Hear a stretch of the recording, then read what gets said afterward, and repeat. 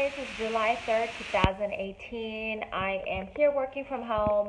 Um, as I mentioned, um, I don't know if I did or not, but yes, past few days have been rough. Thank God for divine connections, like my good friend Charlene, who, whenever you're feeling down in the spirit, you need people around you that's going to build you up, that's going to encourage you, and pray when you can't pray.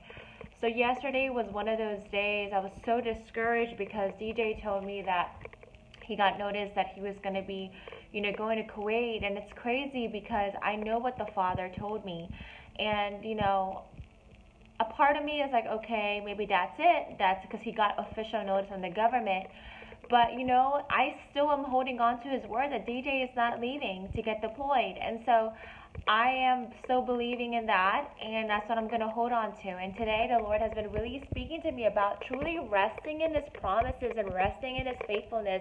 The Father has been really talking to me about how He has everything under control and then all of my worries, my anxieties, my fears, everything that that has been stressing me out, the Lord has already taken care of it. And so here I am, just continuing to believe God, continuing to focus on His faithfulness, focus on His promises, and doing what I need to do to prepare for whatever it is, this new assignment, this new.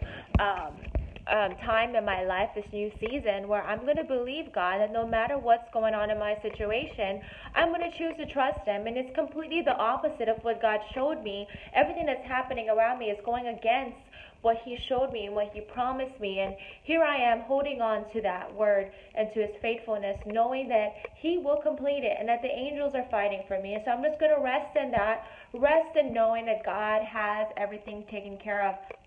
And so I just wanted to um, just come on here real quickly and kind of share what's been in my heart and to encourage you all that yes, you're going to have your low days, but you're also going to have your high days. And maybe you have those days where you don't really know what you're feeling. Um, and that's where I'm at right now. I'm kind of numb, if that makes sense. I'm pretty numb with everything that's going on, but I'm going to choose joy. I'm going to choose faith. I'm going to choose strength. I'm going to choose peace that passes all understanding. And most importantly, I'm going to choose Jesus because I know Jesus is a man that should not doesn't lie, not a man that should lie, nor a son of man that should repent. And I'm holding on to his word. I'm holding on to his faithfulness. And most importantly, I'm holding on with every ounce of my being because everything in me wants to give up. But I just can't.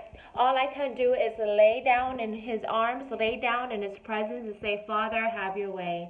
All right, God bless you guys, and I'll talk to y'all soon. Have a great day.